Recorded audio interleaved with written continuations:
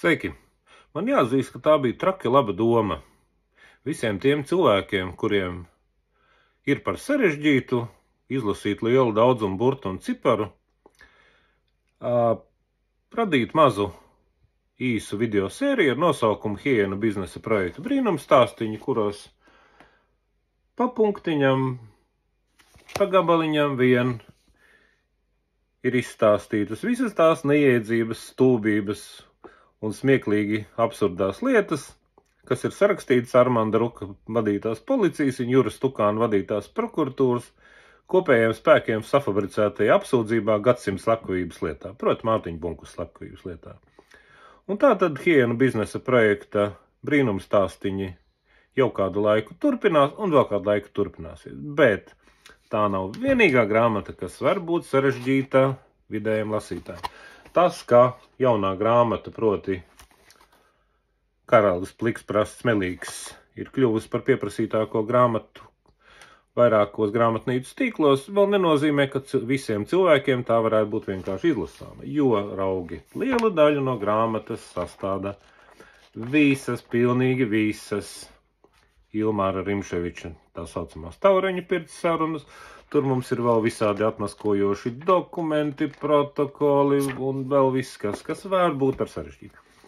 Un tāpēc papildus hienu biznesa projekta brīnums stāstiņiem mums būs vēl viens mazs cikliņš proti, ko mēs varētu nosaukt Ilmāra Rimševiča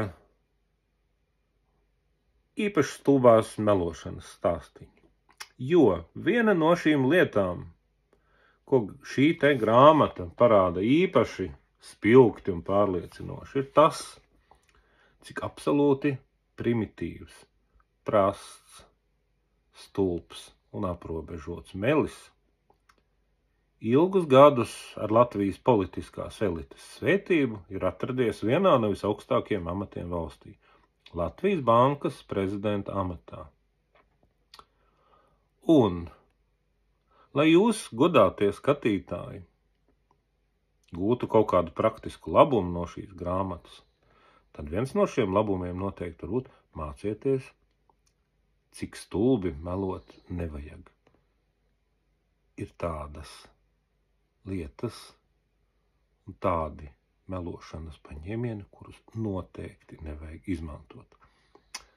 Un Te būs pirmais jaukais konkrētais piemērs. Tātad Latvijas bankas prezidents Ilmārs Rimšēvičs Taureņu pirtī tiekas ar Trasta Komercbankas pārstāvi, kuram ir visādas problēmas risināmas.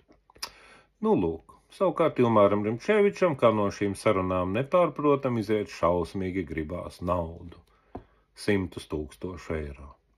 Nu, lūk. Un tā tad šīs te sarunas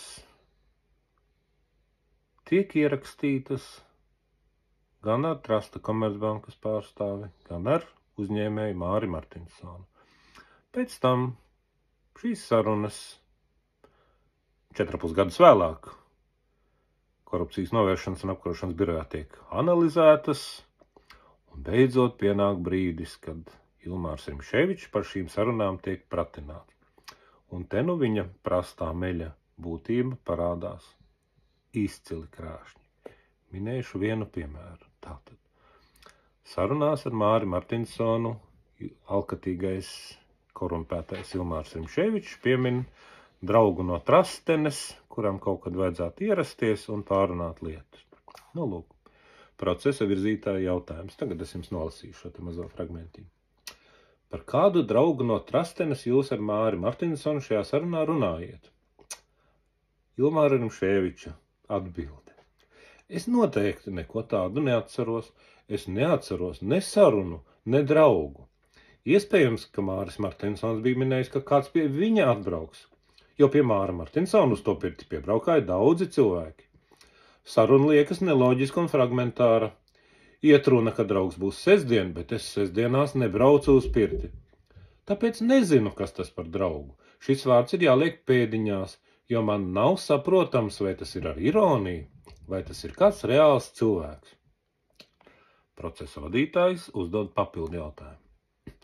Kāpēc jūs, Rimševičs kungs, sarunā ar Māri Martinsonu šo personu saucat par kādu draugu no Trastenes? Trastena tā ir Trasta komercbanka. Ilmārs Rimševičs pakasa aiz auss un neatrod neko labāku, kā turpināt melot jau īpaši idiotiski. Māra, tātad Ilvā Rimševičs atbildi, es to nevaru atcerēties.